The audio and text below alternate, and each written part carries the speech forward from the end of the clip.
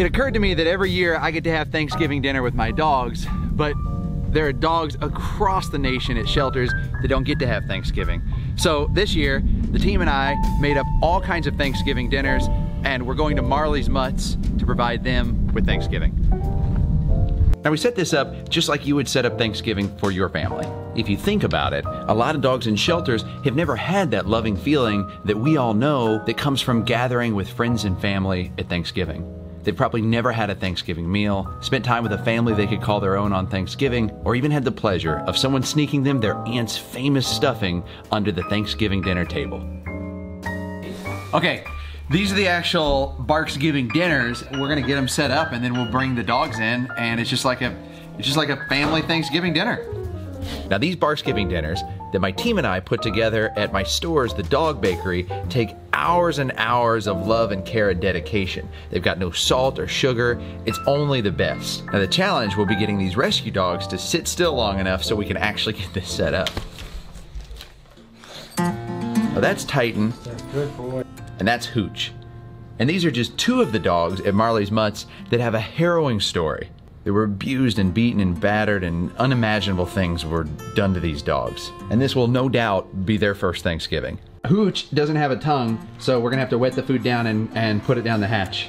Yeah, so let's grab a bowl for Hooch so we can water him. Yeah, we can make it more of like a mush. Just turn it all into a uh, stuffing.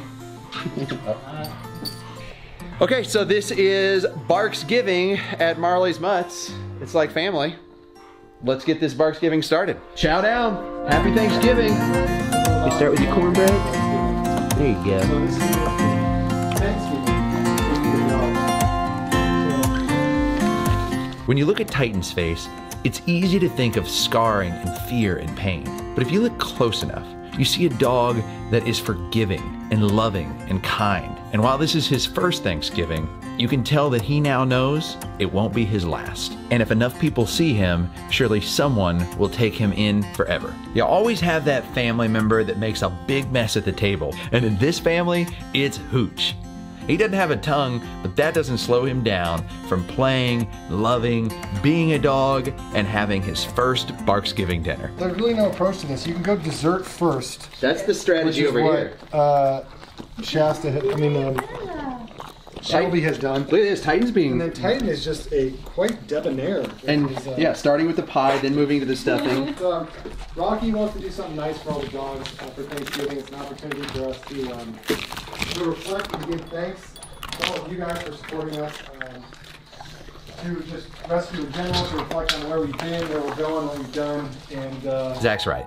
This is a perfect time to reflect and give thanks. And it appears that our four-legged friends are more like us than we ever could have imagined. Not only were they appreciative of this Thanksgiving, but like a lot of families, it got a little unruly. Shelby was rude and wouldn't take her elbows off the table. Shelby's got to feed that tumor, man. And Uncle Shadow downright lost control, jumped on the table, and started eating everybody else's food. Nonetheless, I think we can call this a success. Oh my goodness, that fills my heart. If, if that's not the best Thanksgiving in the world, I don't know what is. Please share this video with everyone you can so we can bring awareness to all of these dogs and, and the love that they deserve. Smash that like button, leave a comment down below. I respond to as many as I can. And happy Barksgiving.